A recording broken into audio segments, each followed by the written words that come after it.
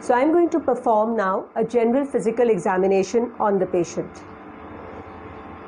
ज़ुबैर साहब अब मैं आपका uh, जो है वो चेहरे का हाथों का और पैरों का मुआयना करूँगी आपको कोई एतराज़ तो नहीं है जी आप प्लीज़ सामने देखिएगा सो um, first of all you examine you you look at the general look of the patient at all times please wear your mask i'm just not wearing a mask so that my voice is more audible and you can follow what i'm trying to tell you so uh, examine the eyes for anemia the conjunctiva अब आप नीचे देखिएगा and you look at the sclera for any jaundice आप please अगर mask अपना उतार लें तो मैं आपके नाक का गले का और कान का मुआयना करूँगी So, look at the nose. आप ज़बान बाहर निकालिएगा मुंह खोलिएगा बोलिएगा आ ठीक है look at the throat and then through an otoscope this is the otoscope and I'm going to now examine his ears so with an otoscope you need to have disposable earpiece these are disposable earpiece. Once you use it on the patient you can dispose it off. You attach it here like this and then switch on the uh, otoscope. Some otoscopes are battery operated and some are rechargeable. This one is battery operated. So for the right ear I hold the otoscope in my right hand. You can hold it like this or I prefer to hold it like this because it's more convenient.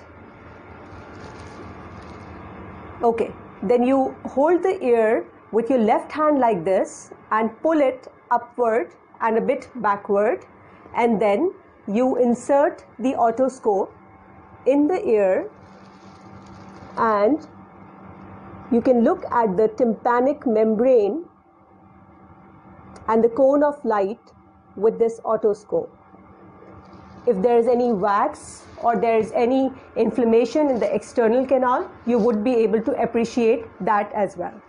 For the left ear, I hold the otoscope in my left hand and repeat the procedure. So with the right hand, I pull the tragus, uh, I, I pull the ear backwards and upwards and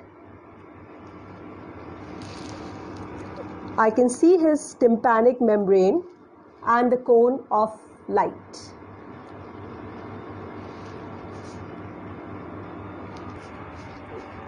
For performing an uh, ear examination, this was just a part of a general physical examination, so I did it superficially.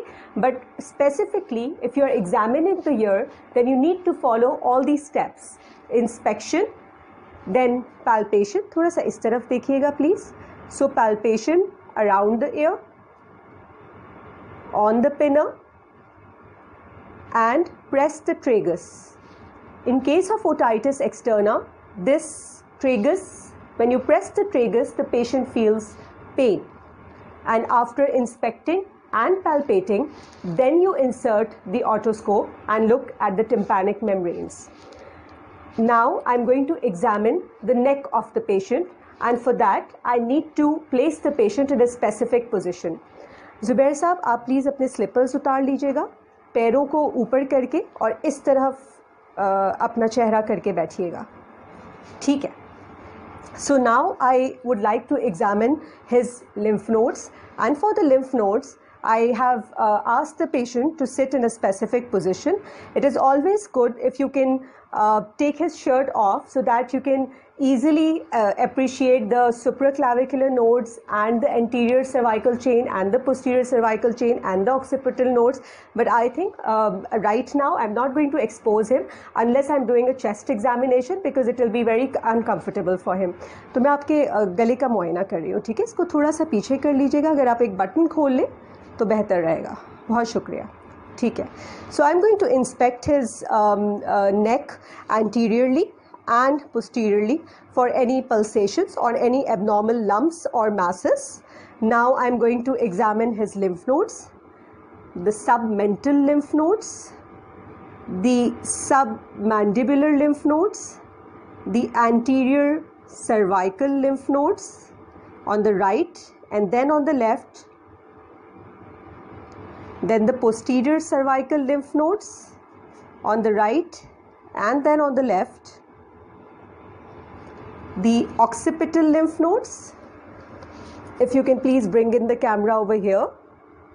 So the occipital lymph nodes the pre-auricular chain of lymph nodes the post-auricular chain of lymph nodes and then the supraclavicular nodes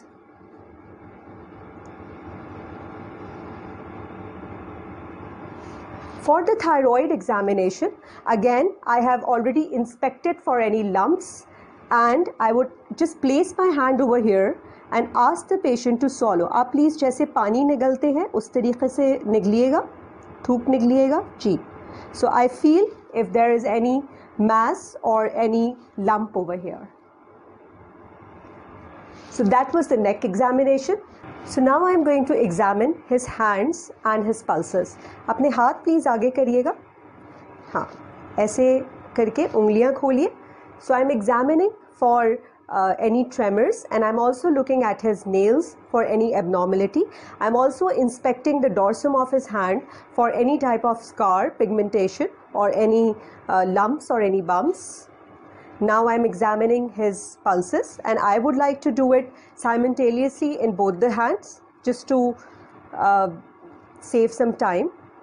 And as I examine his pulses, I note it for 30 seconds and I am also noting as, as I'm, I'm looking at the rate, I'm also uh, determining the rhythm if it's regular or irregular and the character of the pulse and the volume of the pulse and symmetry of course as I am examining both the pulses, both the radial pulses at the same time. So so, जी ज़ुबैर साहब मैं आपका blood pressure check करूँगी उसके लिए आपकी sleeves जो है वो आपके मिड आर्म तक यहाँ तक जो है वो आप प्लीज़ ऊपर कर लीजिएगा तो मैं आपका मुआयना करूँगी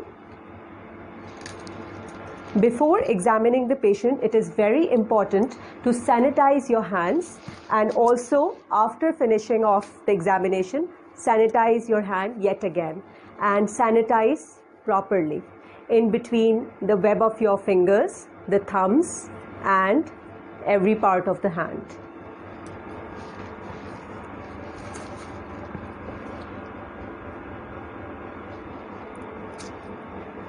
So this is a wall mounted blood pressure apparatus and you place the cuff at least 2 inches above the elbow joint.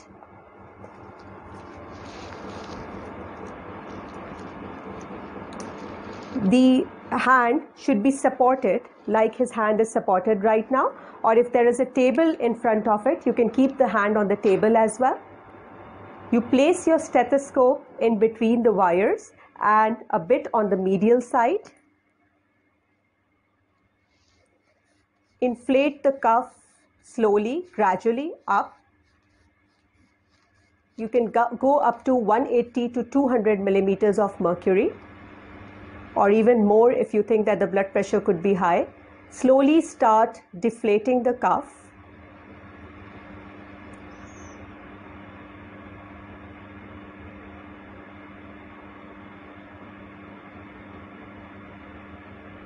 and I can hear the heart sounds now at 110 millimeters of mercury. The voice has now muffled and it's 80 millimeters of mercury. So his blood pressures are 110 by 80 millimeters of mercury. If at any point in time you miss the sounds, then you need to deflate the cuff and come to come back to 0 millimeters and then again reinflate rather than inflating it from the midpoint again. Thank you, Zubair.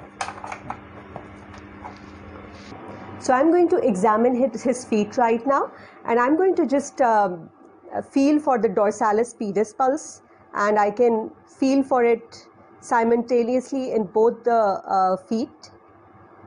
I can feel it in the, on the right side and now on the left side as well. Now I'm going to look for any edema and for edema you press any bony prominence for 10 seconds and then you remove your finger. If there is a dip over there, then there is pedal edema. There is no dip and therefore the foot examination for edema is normal. So after examining the patient, after doing a general physical examination of the patient, I said thank you to the patient and asked him to cover himself if he was exposed at any point in time. Uh, then I also used the sanitizer and cleaned my hands yet again. Just to summarize the general physical examination for you, I started off with vital assessment. I took his height, weight, blood pressure, and then I examined him uh, examined his face, I examined his eyes for jaundice and for um, anemia. I examined his uh, mouth for any dehydration, for any anemia. And then I examined his ears, his nose. I also did an otoscopic uh, examination on his ears to look for his tympanic membrane. I examined his uh, neck for any uh, lymph nodes or any thyroid abnormality. Then I examined his hands I looked at his nails. I also uh, uh, examined his, his pulses, his radial pulses in both the hands. Uh, then I examined his feet for pedal edema and dorsalis pedis.